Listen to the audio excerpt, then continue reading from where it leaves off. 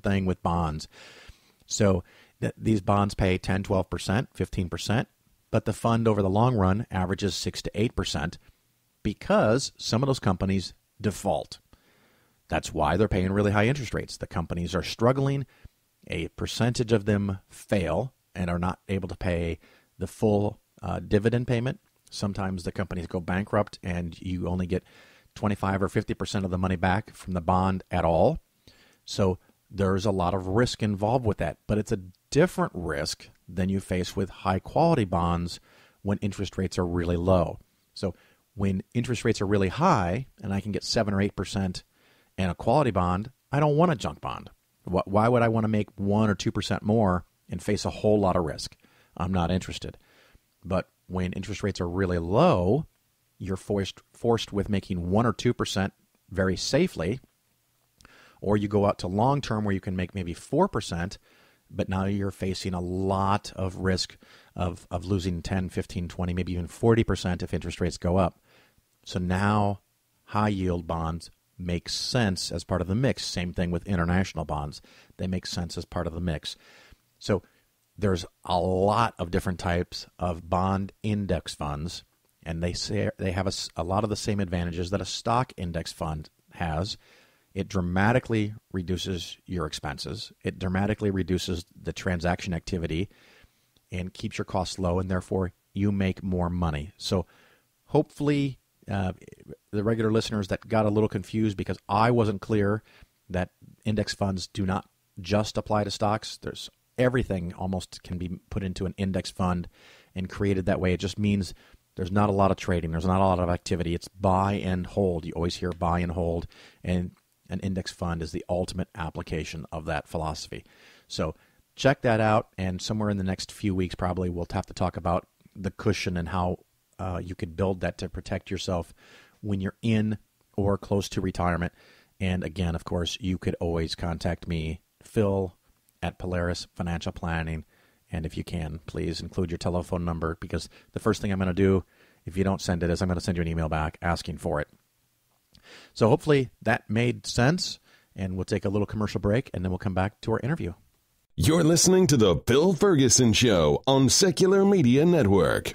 All right, everybody, welcome back. This is Phil Ferguson, and you are still listening to The Phil Ferguson Show. With me today is my special guest, Don Ford. And Don and I are going to talk about pharmaceuticals and drugs and stuff like that. And Don, uh, give me a little information about your background and what puts you in a position to know something about this stuff. Up until very recently, have been the senior financial analyst for a specialty compounding pharmacy located in St. Louis, Missouri, and trademarks and essentials connected to that company. Now, you said compounding pharmacy. Well, what does that mean? Okay, so a compounding pharmacy, rather than when you walk into, say, a Walgreens and you either get something off the shelf or you have somebody fill pills in the back for you. A compounding pharmacy is a pharmacy that takes the raw drugs, the uh, powders and creams and everything like that, and either turns it into a pill or turns it into a cream that they then sell to you. It's got maybe five, six drugs in it, or however many your doctor prescribed. They compound it. They basically grind everything up, put it into another form that you can use, and then sell it to you because you don't have access to the raw chemicals yourself. And and why would someone want this versus just going to the regular pharmacy and getting a pill? Well, in a regular pharmacy, there are much more stringent controls over. Um, there are certain substances that are controlled substances. Testosterone is one of them. Uh, by law, you're not allowed to sell above a certain grade of testosterone on the open market. Uh, in fact, you can, actually you can't sell any testosterone on the open market. A compounding pharmacy can because they have met the requirements to sell controlled substances. So that's one reason why you might go to a compounding pharmacy is you can get a controlled substance like testosterone much easier than you can try and get it through a normal pharmacy. Another reason is that your doctor can actually put very specific uh, quantities of each drug into the compounding mixture that he wants you to use. Whereas if you went to Walgreens and bought something off the shelf, that's regulated. The, the amounts of the chemicals in that are specifically set at the time of production. If you go to a compounding pharmacy, your doctor can change how much or how little of a certain chemical you're getting, and the compounding pharmacy can can provide that.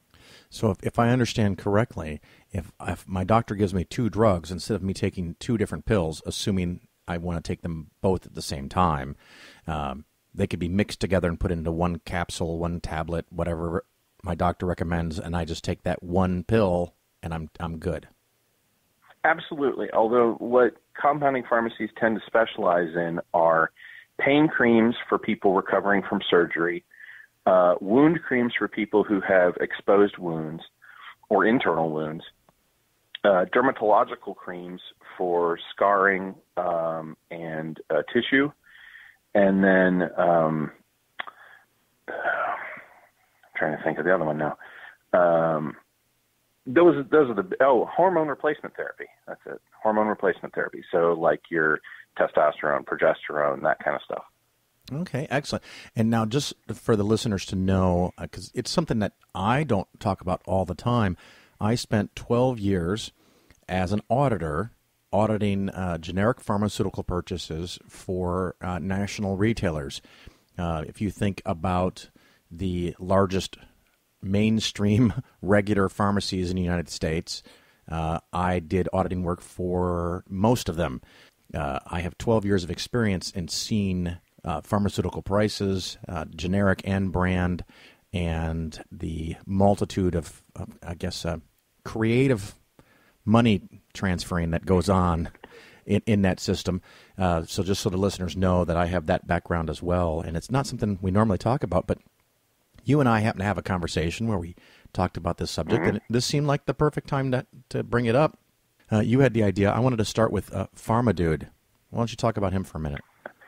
Ah, yes. So Pharmadude, otherwise known as Martin Shkreli, uh, last year founded and uh, established himself as CEO of a company called Turing Pharmaceuticals. That didn't happen last year. But what happened last year that made him uh, national news and even international news was uh, Turing Pharmaceuticals obtained the license to manufacture the drug Daraprim, which was being used to treat HIV patients.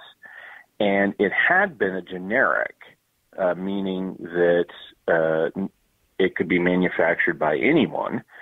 Um, and he raised it from what it had been at $13.50 a pill to $750 per pill. Now, the, the listener is probably going to think, well, if it's a generic, why don't I just get a different generic? because you have to have a license to produce a specific generic. And and I'll just add in and fill in there that at the time, and correct me if I'm mistaken, at the time this was the only generic on the market because the price was so low that everyone else had mm-hmm. stopped making it because it's thirteen dollars. It's considered, uh, you know, an older generic. It's a it's a, a standard. They're the only person making the generic. It's thirteen bucks. Everyone else got out of the market because they couldn't make enough money. And so, because of that, he just jacked the price and tried to make a fortune. That's correct. And uh, again, you can agree or disagree with me. Uh, this increasing prices of generics, especially if you're the only producer left after you know the competition weeds everybody else out, uh, often generic prices then do go up. Yeah, I, I remember one time there was a, a company, uh, three companies that made a generic uh, treatment that you put in your hair to uh, kill kill lice, and the price went down, down, down, down, and one person after another finally got out of the market because they couldn't compete, they couldn't make any money, or at least they couldn't make enough money, and they finally got to the point where one manufacturer was left, and the price went from four dollars to ten. And no one entered the market, so it went from 10 to 15. No one entered the market, and it went from 15 to 25. And so they kept raising the price to try to maximize their profits, which is what companies tend to do. And mm-hmm. no one else came into the market because now that they had all gotten out, the the startup costs of, of getting all the legal documents and everything in line and getting the manufacturing up could take months and have a lot of upfront money. And as soon as you get in, the guy who's already there goes right back down to four dollars. So you right. know, we have that. So what happened to to Pharmadude? He, he's still rocking and rolling. No, uh, Pharma Dude uh, got national or international backlash for doing this, but they couldn't pin him on that because it was perfectly legal. What they could pin him on, though, was securities fraud, which is what he did as part of one of his other companies, and so he went to prison and resigned as CEO of the pharmaceutical company which then reverted its price back down to something closer to what it had originally been. Which is interesting. I talked to a lot of people, and they hear that he got arrested, and they're like, "Well, finally, you know, someone got arrested for jacking around with drug prices." Uh, I, I, agree 100%. No, uh, what he did uh, unethical, uh, immoral. We can have that argument, but totally legal. Uh, but it was the securities fraud from uh, the hedge fund that he ran before. Mm-hmm uh, that he got caught for, which which is good. I think more of those kinds of people should be in jail, but um, that's more along the lines of the topics the show normally covers. Um, and so, you know, with these compounding pharmacies, uh, so a, the doctor sends the patient to your pharmacy. What prevents them from uh, getting their own pharmacy and, and sending their own patients to their own pharmacy to make even more money as a doctor? Well, technically, there is a law that is supposed to prevent exactly what you're describing. It's called Stark Law, and it specifically outlines that doctors are in no way allowed to profit from referrals or prescriptions that they give to their patients. However, there was a loophole, and I don't know if it was state specific or nationwide, but there was a loophole where doctors could uh, uh, have interest in a um, or a um, compounding pharmacy, and they could suggest to their patients, don't go use compounding pharmacy X, go use this compounding pharmacy that I know of. They do great work, and they're essentially sending business to themselves. And what, what those compounding pharmacies would do um, since they are the manufacturer, much like in the uh, Pharma Dude story, since they're the manufacturer, they get to set the price. And what the doctors would do so that they could cover, and usually these were Medicare Medicaid patients. Doctors don't make that much money off of a Medicare or Medicaid patient coming in with their copay. They don't get reimbursed as much as somebody with a private insurer. So what they would do is they would seek interest in these pharmacies that would compound stuff, send these Medicare and Medicaid patients to those pharmacies. And those pharmacies would set a generally really obnoxious price for the amount of material that was getting compounded. And Medicare and Medicaid would pay for it because it was a necessary drug for the patient. And so the doctor would get the kickback from that and the process would just cycle that way. Well, and that sounds like all kinds of bullshit and illegal, right? I mean, that that's legal. It, yes, it's it's it was legal, and it is bullshit, and it hurt legitimate pharmacies like the one that I used to work for. And and what, what how's that pharmacy doing now? That pharmacy is closed because the market on farm, uh, compounding pharmacies has tanked thanks to a lot of these doctor run compounding pharmacies across the nation. Now, we mentioned that there's a law against this, but yet they were still doing, or they had a loophole. What? How exactly were they skirting the rule?